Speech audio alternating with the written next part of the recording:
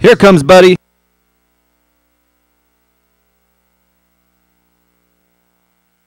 We're back to action here, race number 49.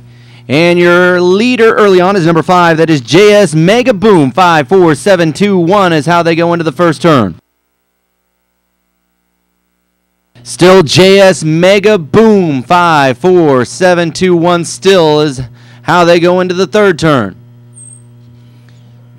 Here he comes with four gaining some ground. It's still JS Mega Boom. You have four on the outside, five on the inside, and four passes late for your winner, ah. Flying Handsome.